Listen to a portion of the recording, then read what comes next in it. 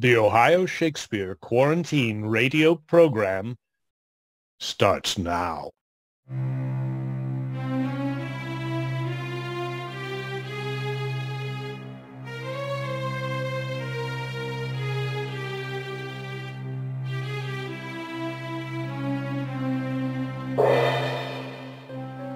Good evening, everyone. I'm your host, Avon Quarto, and welcome to the Ohio Shakespeare Quarantine Radio Program, where we produce original works based on classic stories for your at-home entertainment. So grab your quarantine pal, your favorite adult beverage, or maybe a glass of chocolatey Ovaltine for the kiddos, and settle in for some old-fashioned radio play spookums. Tonight's tale is based on the story by Guy de Maupassant, adapted for our radio program by Tess Burgler. It is sure to remind us about the danger of greed and constantly reaching for what you don't have because, in the end, you might lose everything. Joining us tonight from the Ohio Shakespeare Festival Company are Samus Haddad as the narrator, Rachel Ines as Matilda, Rodney Rice as Michael, Holly Humes as Freya, and John Peters as the driver, the jewelers. And now, Ohio Shakespeare Festival presents Guy de Maupassant's The Necklace.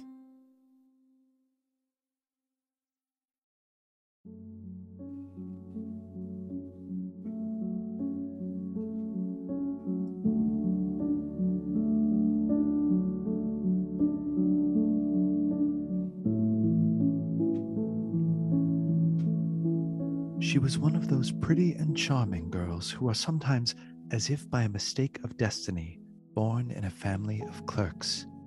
She had no dowry, no expectations, no means of being known, understood, loved, or wedded by any rich and distinguished man, and so she let herself be married to a little clerk at the Ministry of Public Instructions. She dressed plainly only because she could not dress well, and she was as unhappy as though she had really fallen from her proper station. She had no lack of natural fineness, instinct for what is elegant, or suppleness of wit, and these qualities in her mind made her the equal of the very greatest ladies.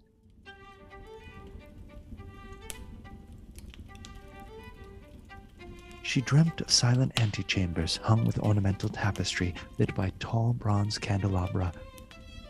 She dreamt of the long salons fitted up with silk, of delicate furniture carrying priceless curiosities, coquettish perfumed boudoirs made for talks at five o'clock with intimate friends, with men famous and sought after, whom all women envy and whose attention they all desire.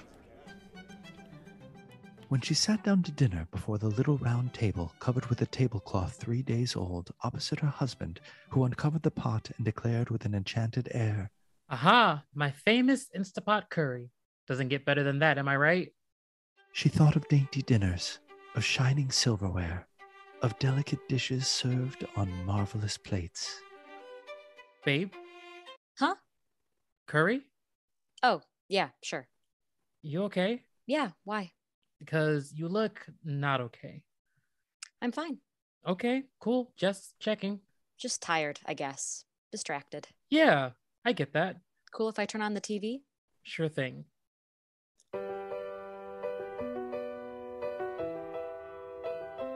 She had no dresses, no jewels, nothing, and those thoughts consumed her because she loved nothing but that. She felt made for that. She would so have liked to be envied, to be charming, to be sought after.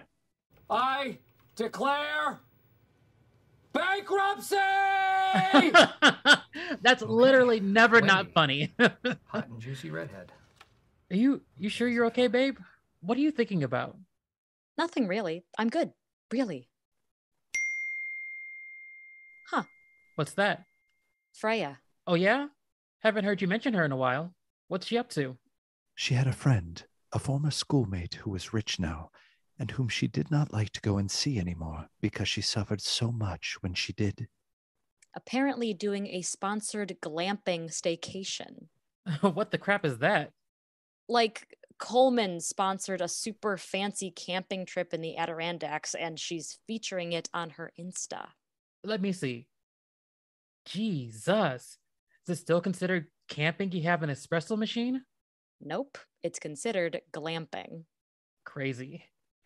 Kind of cool though that the whole influencer life actually took off for her. hmm Uh, hey, since I cooked tonight, can you do the dishes? Yep. She suffered ceaselessly, feeling herself born for all the delicacies and all the luxuries. She suffered from the poverty of her dwelling, from the wretched look of the walls, from the worn out chairs, from the ugliness of the curtains. They tortured her and made her angry. But the next evening, her husband returned home with a triumph triumphant air. Hey, I have a surprise for you. What is it? Open and see. The Honorable William Arden and Mrs. Arden request the pleasure of your company at the inaugural celebration of the governor and the constitutional officers of the state of Ohio. So cool, right? Instead of being delighted as her husband hoped, she threw the invitation on the table with disdain. What do you want me to do with this? But babe, I thought you'd be happy. It's really exclusive. I had to pull some serious strings at work to even be invited. Lots of famous people will be there. You love this kind of thing. Uh huh, okay. And what the crap am I supposed to wear to an actual black tie governor's ball? He had not thought of that. How about the dress you ordered for his wedding? You look great in that. Wait, what? What's the matter? Nothing. It was a nice idea, but I have nothing I could possibly wear to this. Give the invite to someone else's wife who might actually be able to go without being a total embarrassment. Okay, okay. Uh, how much would it cost to get you a new dress you could wear? Maybe something you could wear again later? Something very simple? She reflected several seconds, making her calculations and wondering also what sum she could ask without drawing on herself an immediate refusal and a frightened exclamation from the economical man. Finally, she replied hesitatingly, I don't know exactly, but I think I could find something for like $800. Woof. Okay. Uh, I have a little saved up for Brian's bachelor party in Vegas. I can make that happen. Oh my God, really? Yeah, sure. If it means that much to you, then yeah. Michael, thank you so much. Just make sure it's something you really love, something that makes you happy. I will. I love you. The day of the ball drew near, and Matilda seemed sad, uneasy, anxious. Her dress was ready, however. She looked at it hanging there. What's up? You don't look happy. Hmm. Second thoughts on the dress? No. Then what's up? It bums me out not to have a single jewel, not a freaking single stone, nothing to wear with it. I'll just look stupid with a dress like this and no accessories.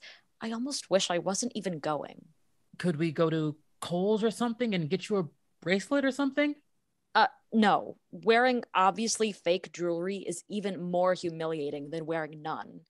I just don't want to go. Forget it. Okay, no, wait. Could you ask Freya if you can borrow something? Oh, wow. Actually, yeah. I never thought of that. She just did a sponsorship with Tiffany's. Perfect. The next day, she went to her friend and told her of her distress.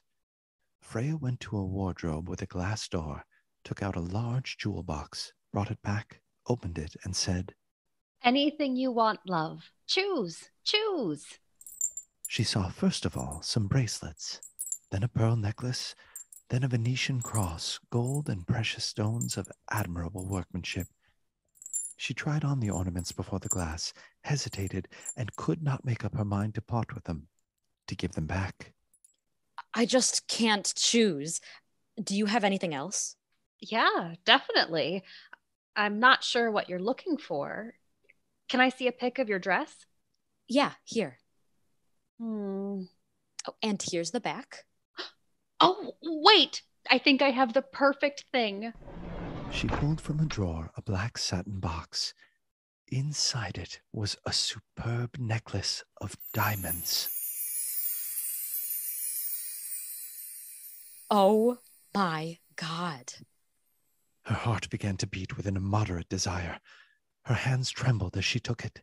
She fastened it around her throat and remained lost in the ecstasy at the sight of herself. Can you lend me this? I know it must be crazy expensive, but maybe if I borrow only this one thing? Yes, of course you can borrow it. That's why I showed it to you. Oh my god, thank you so much. I just, like, uh, thank you. She sprang upon the neck of her friend and kissed her cheek passionately. It's really not a big deal. No, it is. I will take such good care of it, I promise. And I'll give it back to you right after the ball. No rush. Have so much fun.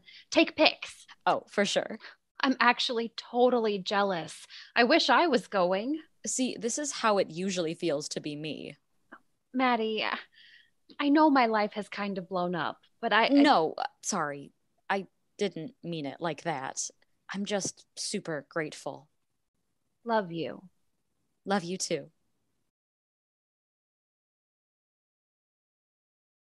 While we might not be stuck in our homes as often as we were, we know that more of us are still staying in more than we used to. If you're looking for a way to safely break up that monotony, this word from our home theater may help. Hi, I'm Tess Burgler, Associate Artistic Director of the Ohio Shakespeare Festival, and I wanted to take a moment to let you know what's going on now that we are back to performing live at the theater. With safety precautions in place, Ohio Shakespeare welcomes you back to live performances at Greystone Hall this 2022, beginning with Arthur Miller's classic American drama All My Sons, performing for three weekends, March 10th through the 27th. It's a stunning, heartwarming, heartbreaking show that is really not to be missed. I just sat in on a rehearsal today and truly, wow. The cast is really phenomenal, something really special, and I'm allowed to say that for this one because I'm not involved in the project at all. So I'm an objective viewer. Market price tickets are always available for our shows, but don't forget about our $15 preview night tickets, our pay what you will performance on the first Sundays. And uh, for this show only, all gallery level student tickets are only $5 for any night of the run. So I hope to see you soon at the theater. You can get tickets at ohioshakespeare.com slash sons or give us a call at the box office at 330 5 shakes. That's 330 5 S H A K E S. And now, the conclusion of The Necklace.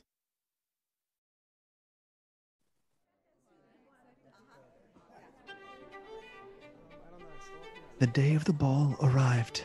Matilda made a great success.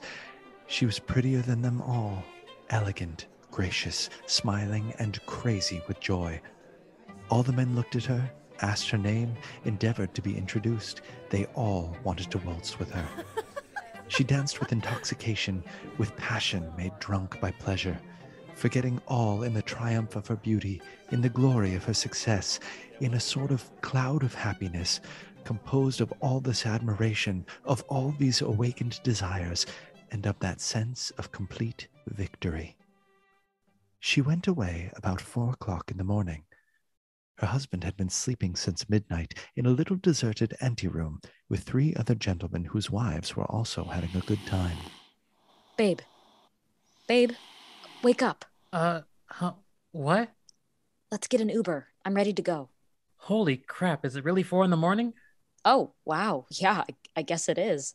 Here, I've got your coat. Uh, no way. I can't wear that with this dress.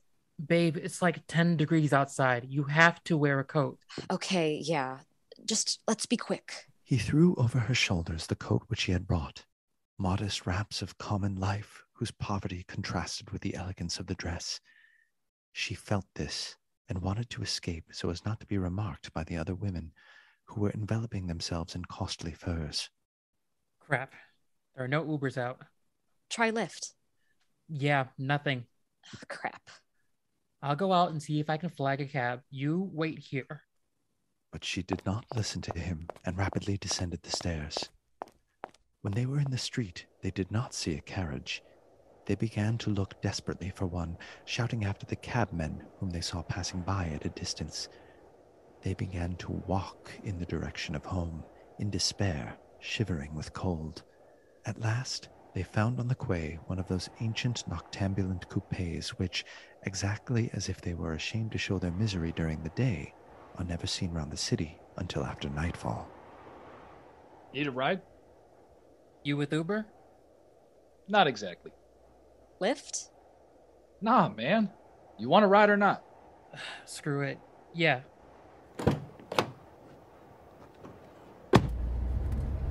It took them to their door, and once more, sadly, they climbed up homeward. Was it everything you'd hoped it would be? Yeah. It was amazing. But all was ended for her. And as for him, he reflected that he must be at work at the ministry at ten o'clock. She removed the wraps which covered her shoulders before the glass so as once more to see herself in all her glory. But suddenly she uttered a cry. She no longer had the necklace around her neck. Jesus, what what's wrong? I I I've lost Freya's necklace. What? How? No way. Check your pockets. Oh my god. Oh my god. And they looked in the folds of her dress, in the folds of her cloak, in her pockets, everywhere. You sure you had it on when you left the ball? Yes, I felt it when we were walking out. But if you had lost it in the street, we would have heard it fall. It must be in the cab. Yes, probably. Did you see the number or like the company logo?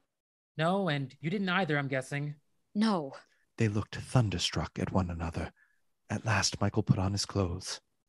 We'll have to go back on foot. I'll just retrace our steps.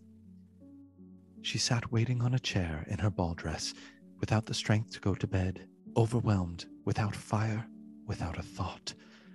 Her husband came back about seven o'clock. Did you find it? No, nothing. Oh my god, what are we going to do? Next, he went then to police headquarters, to the newspaper offices to offer a reward. He went to the cab companies, everywhere, in fact, whither he was urged by the least suspicion of hope.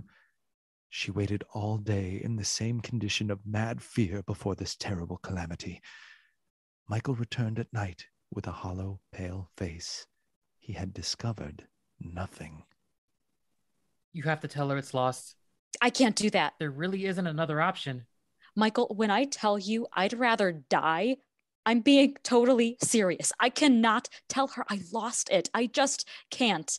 It's too embarrassing. then you have to text her and say that you've broken the clasp and you're having it repaired. Okay, yeah. But, like, then what? I don't know. But at least we have some time to think. Okay.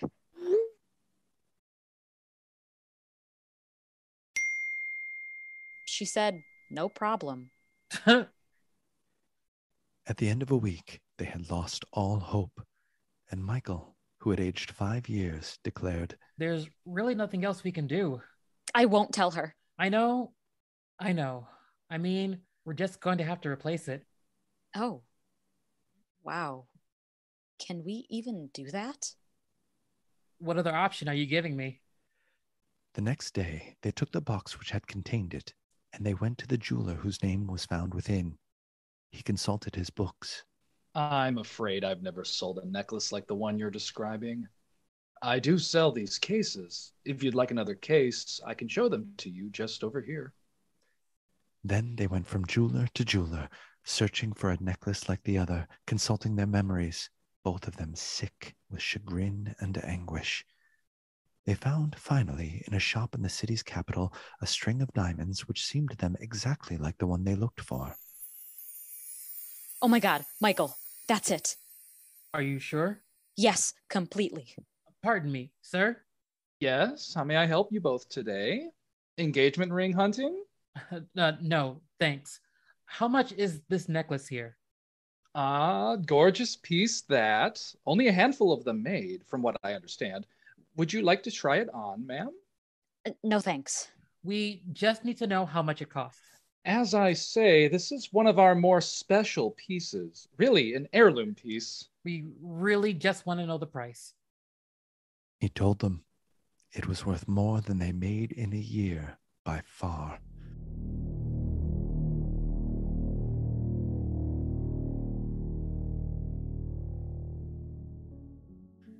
So they begged the jeweler not to sell it for three days yet. They possessed some inherited money which Michael's father had left him. They would borrow the rest. They did borrow, asking a thousand of one bank, five hundred of another, five here, three there. They gave notes, took up ruinous obligations, dealt with usurers and all manners of lenders.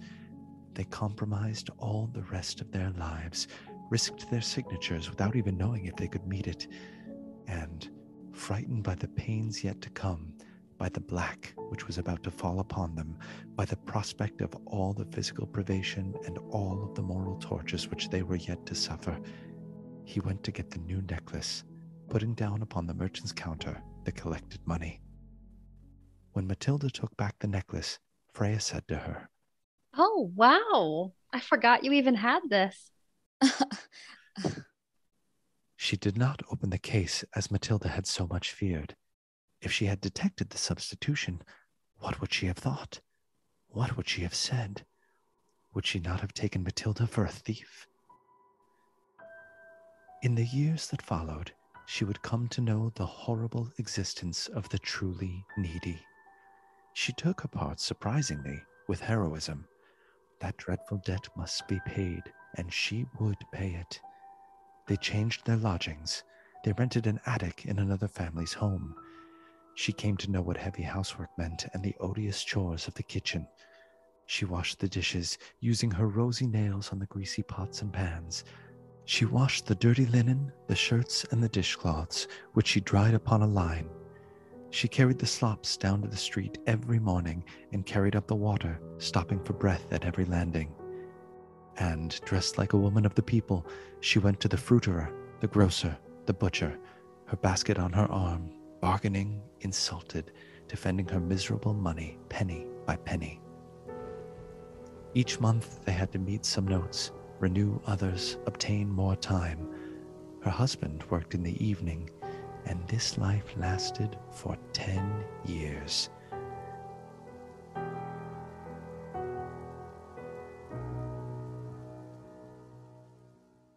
The end of ten years, they had paid back everything, everything, with the rates of usury and the accumulations of the compound interest. Matilda looked old now. She now looked strong and hard and rough, with mousy hair, skirts askew, and red, raw hands. But sometimes, when her husband was late at the office, she sat down near the window and she thought of that one gay evening of long ago, of that ball where she had been so beautiful and so feted. what would have happened if she had not lost that necklace? Who knows? Who knows? How life is strange and changeful. How little a thing is needed for us to be lost or to be saved. But one Sunday, having gone to take a walk to refresh herself from the labor of the week, she suddenly perceived a woman who was leading a child. It was Freya, still young, still beautiful, still charming. Matilda felt moved. Was she going to speak to her? yes, certainly. And now that she had paid her debt, she was going to tell her friend all about it. Why not? She went up to her. Hi, Freya. It's good to see you again. Hello. The other, astonished to be familiarly addressed by this plain stranger, did not recognize her at all, and stammered, uh, Sorry, I think you have me mistaken for someone else. No, I don't. Oh, do you follow my Insta? No, it's me, Matilda. Oh my god, Maddie! How are you? I barely recognized you. Yes, I've had some hard days since I've seen you. Hard years, in fact. And I just wanted you to know that. Because honestly, if it wasn't for you, it wouldn't have been like that. I could have led a normal life. If it wasn't for me, what in the world do you mean? Do you remember that diamond necklace you lent me for the governor's ball ten years ago? Oh, yeah, I do. Well, I lost it. What do you mean? You brought it back.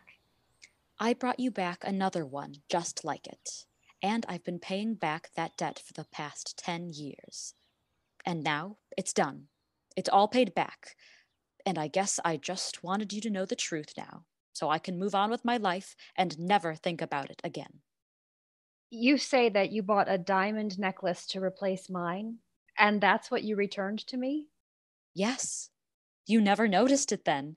I found one almost exactly the same. And she smiled with joy, which was proud and naive at once. Her friend, strongly moved, took her two hands. Oh, my poor Maddie. I, I don't know how to say this. What? The necklace I lent you was made of glass. It was worth at most a few hundred dollars.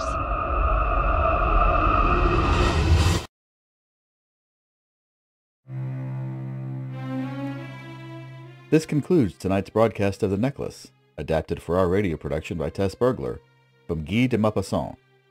We would also like to recognize Technical Director Buddy Taylor, Associate Artistic Director and Sound Designer Tess Burgler, and Trevor Buddha for writing and creating the original theme music for the Quarantine Radio program. Keep an eye out for these all-original classic radio plays live on our Facebook page. You can also listen to them at any time thereafter on our website at www.ohioshakespeare.com or find them at soundcloud.com slash ohio-shakespeare-festival. These radio plays will remain free to the public, and Ohio Shakespeare will continue to pay our collaborating artists. If you would like to support these efforts, please consider donating directly on our website at ohioshakespeare.com slash donate. Look for more radio plays later in 2022 until then, come see us live at the theater. You can always close your eyes and imagine that we are on the radio. Also, watch our social media closely on March 1st for an important announcement. This is Avon Quarto and everyone at Ohio Shakespeare saying thanks, thanks, and ever thanks.